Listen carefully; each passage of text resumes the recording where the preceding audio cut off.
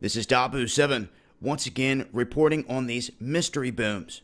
This time, reports coming out of Phoenix, where people across the valley have reported hearing a loud booming noise. This was so loud that it was shaking homes, it was shaking windows, pictures on the walls, and many people took to Twitter believing that this was an earthquake. Others said they thought that it was a loud trash truck or something right outside. Many people saying the same thing that it was this repercussion that was massive, that shook everything. Now, the news crew that looked into this went through the USGS charts and they showed that in Arizona there was no quakes, nothing associated that they're listing that could have caused this sound and all this shaking. So they're trying to rule out that it was quake.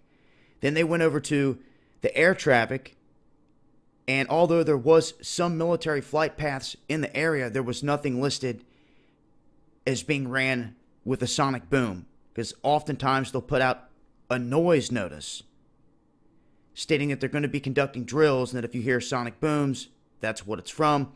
They denied having any involvement. So if it was the military, it's something that they were doing secretly and quietly, whether above ground or below ground or at surface level. We still don't know where this came from. So it's still a mystery as to what caused this most recent mystery boom that a lot of people felt, not just hearing it, but feeling it.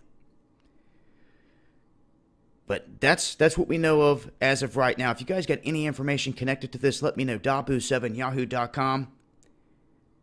I'll share it with others. Keep everybody in the loop, and hopefully, we can triangulate in on an area to see where this emanated from, and then go from there. But that's what I got thus far. I'll leave a link below. It's been Dahboo7.